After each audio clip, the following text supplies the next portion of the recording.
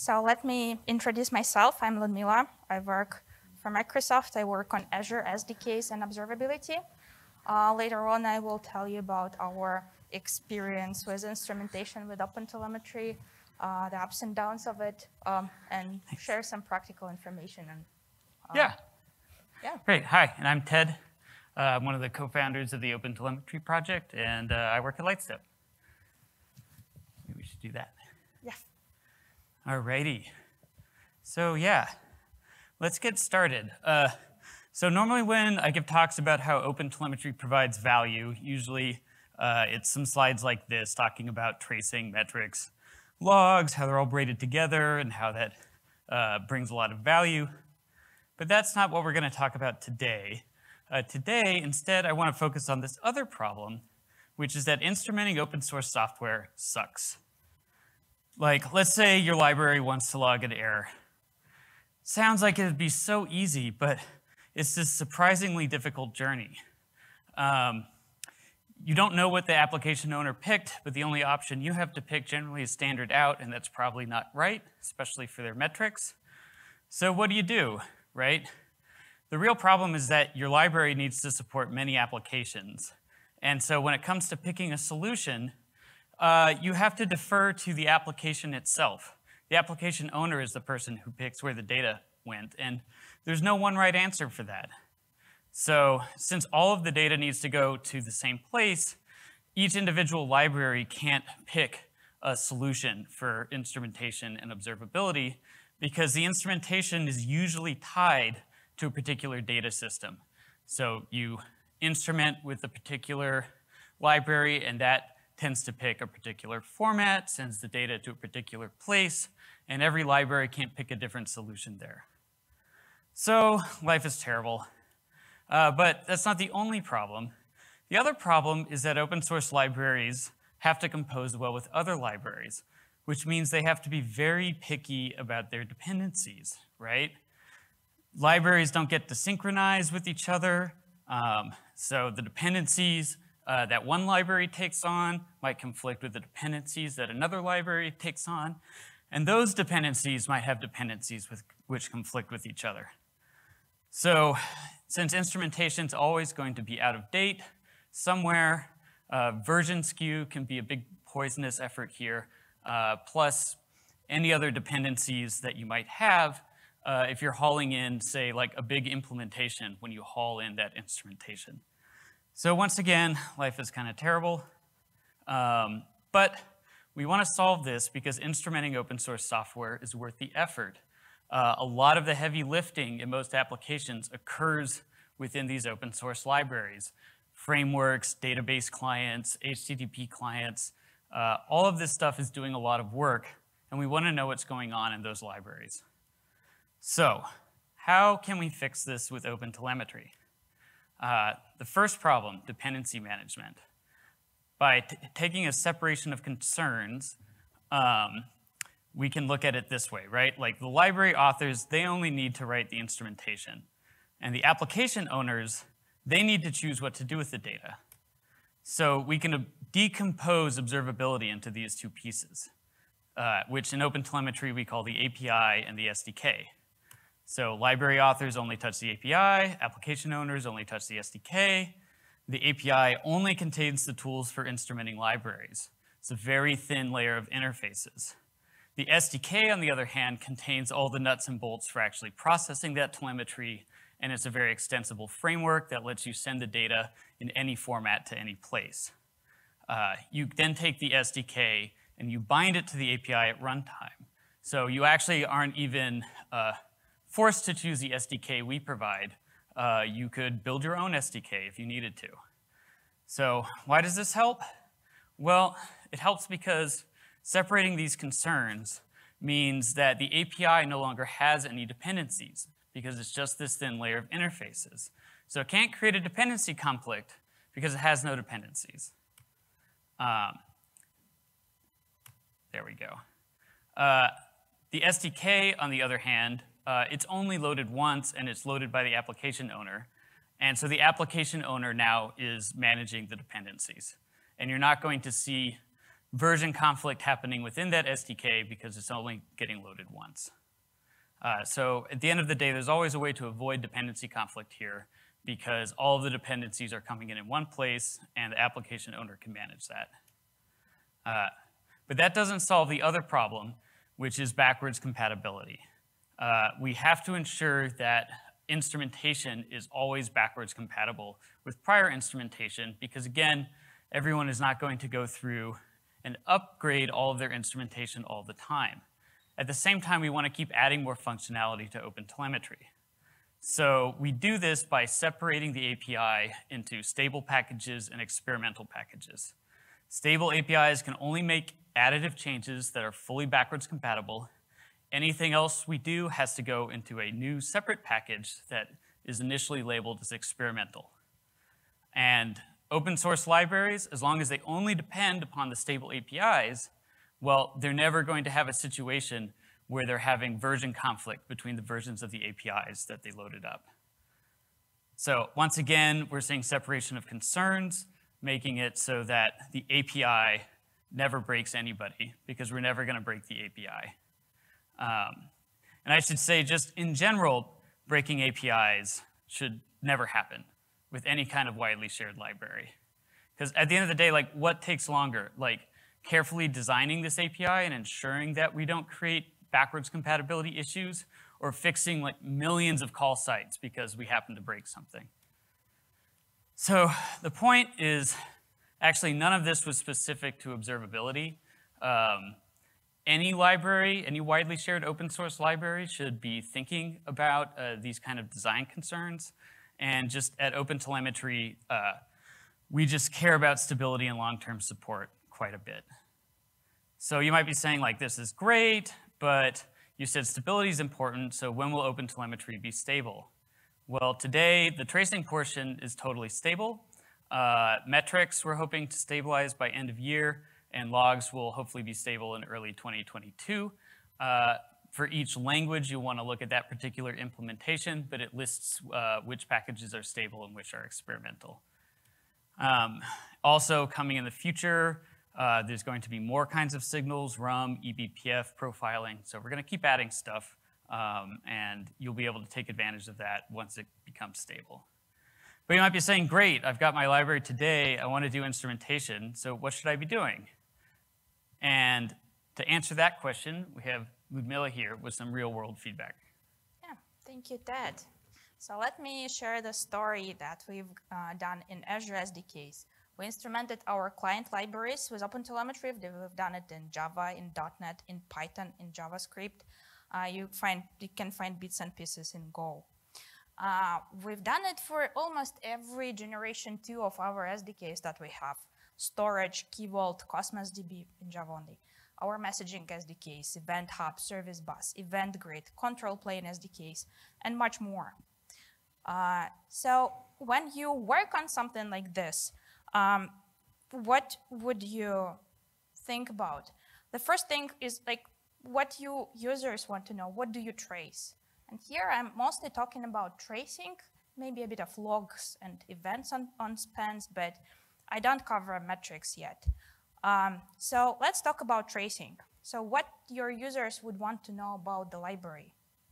Um, and like the first place to start is some complex API calls that your library has.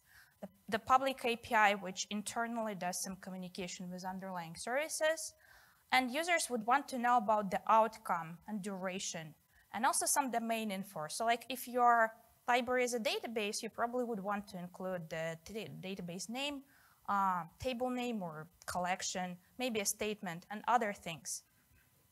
So this is a good place to start uh, and one of the benefits of having this public API spans is like users don't know when they happen, it's magical. Uh, and connecting them and understanding where in this in their code that they wrote the span is collected, what it describes is beneficial. So the other layer of instrumentation is outgoing network calls. In libraries, you usually you don't want to do this because it's supported by auto instrumentation. Uh, the one thing you should be cautious about is that your, your public API call uh, it should be correlated, it should be apparent maybe to this underlying uh, network call so users can see. And like having those two basic layers uh, helps users understand uh, like the flow uh, without like asking, let's say, for your support. They can see, okay, this is how my library communicated with the service. Uh, and maybe they can see, okay, there were five retries or a long call to the service. So they come less to you as a library owner, and they could be able to figure out more issues on their own. Or when they create an issue, they will give you more context. So this helps users with observability and you as well. And at the same time, you create the solution mostly for users, even though you benefit from it. It's not the library internal observability solution.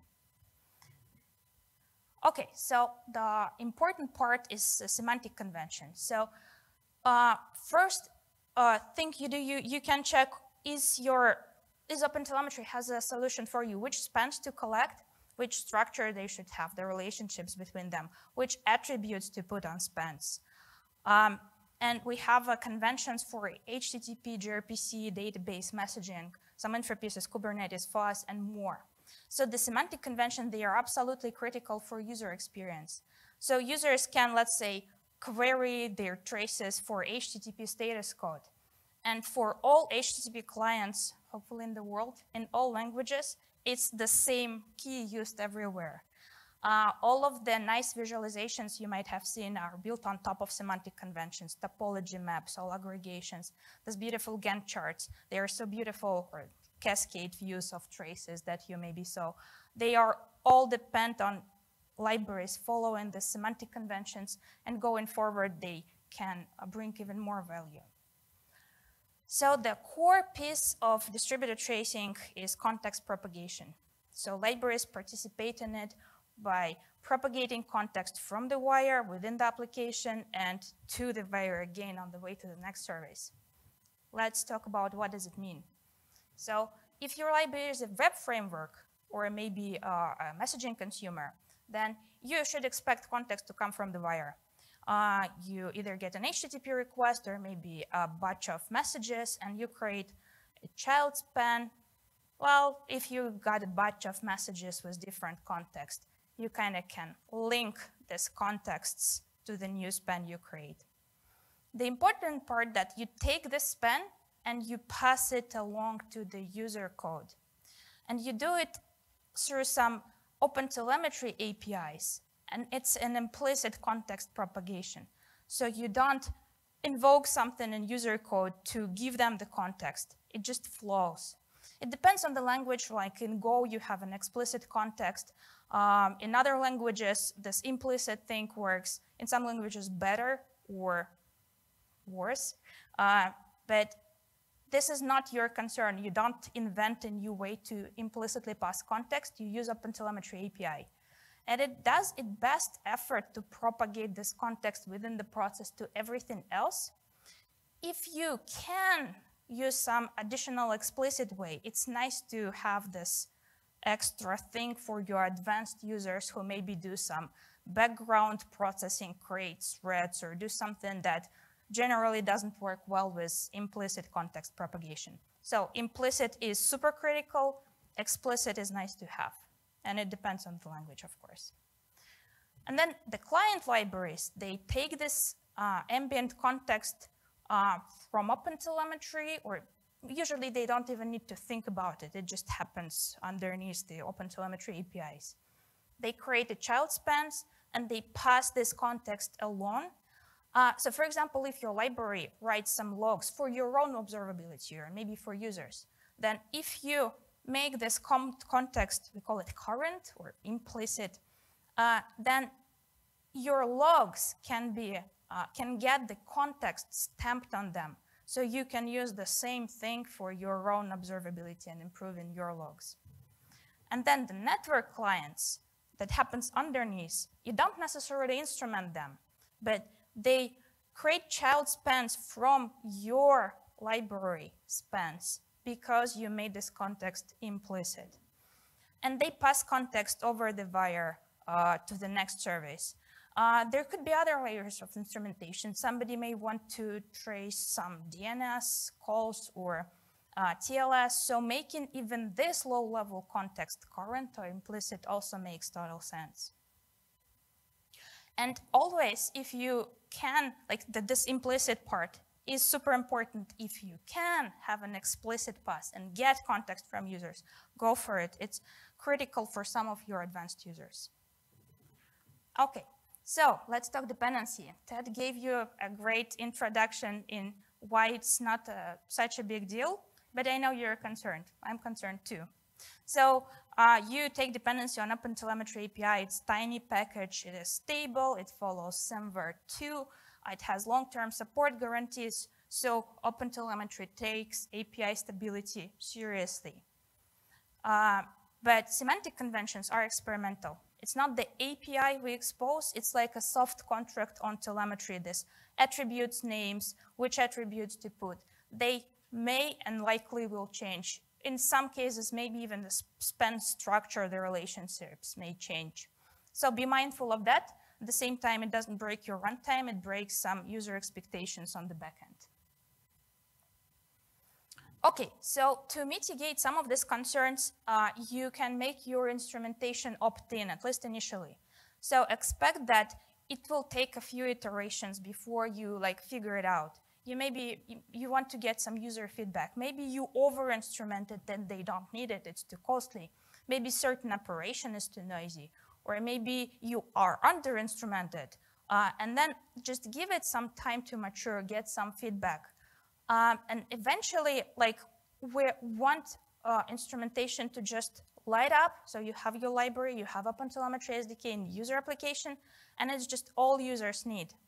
Uh, with opt-in mode or maybe plug-in mode that we usually have, it's easier to um, make these dependency issues mm, hidden, keep them hidden, but you, um, and you can start with that. But eventually you want to have it all in your library. So you don't need to document it, you don't need to make these plugins discoverable. Uh, and usually plugins break just because people forget to install them or because like maintainers don't even test with these plugins. Um, yeah, but this is the necessary level for the few of your first iterations. Okay, then you probably think about performance as well. So um, the OpenTelemetry API um, is NOP without configured SDK. It does nothing. It's a tiny package. It does not affect performance. Uh, when OpenTelemetry SDK is configured, usually there is some sampling, uh, and it reduces performance impact significantly. So otherwise, OpenTelemetry is non-blocking. It consumes limited resources. But some overhead is expected. We work in OpenTelemetry hard to minimize this impact, but you should expect some impact. And so far, users uh, can like reason with it because of the value they get. But by all means, benchmark your library. Uh, and if you find anything, I'm sure all OpenTelemetry languages, SDKs will be happy to help with uh, optimizations. One thing you can do on your side is don't trace verbose operations. Uh, if something is verbose, use logs. If something for your own purpose, use logs. Uh, users can tweak the log level to get more or less of it. If you want to share something with users, but it's not a span, you don't have to create span, add an event on the span. Okay, and related thing is be mindful of user costs. They pay for telemetry a lot. Uh, they pay for ingestion, for storage, for processing, for everything if they host it themselves, if they uh, use some um, observability backend, regardless. They pay a lot. If you are not sure if that then you think will um, serve, solve some problem for majority of your users, maybe don't instrument it or maybe put it behind feature flag or something before you learn more. Okay, now you know everything that there is to know. A quick recap. Uh, your core functionality should work regardless of anything that happens in the tracing world. If it's not traced, at least your library works. Uh, then dependency hell is real. You can ship in plugin or in some opt-in mode until it matures. Uh, then semantic conventions is absolutely critical for UX. Please, please, please follow them. And if you don't find one, help us develop. Um, the context propagation, it's even more critical than semantic convention, or maybe, I don't know how to say, mm. emphasize it more. Propagate your context implicitly and explicitly. And when you test your instrumentation, do test it. Try it out in a semi-typical user application. So pick a popular web framework. Uh, enable all auto instrumentations that there are. Make sure your library telemetry correlates well with like incoming HTTP requests, underlying network layers, stuff like that. Yeah, and come join us in Instrumentation SIG. Help us um, polish the last details about the instrumentation, um, help us develop new semantic conventions for popular technologies, and just share your feedback ideas. Great. Thank you. That's our talk.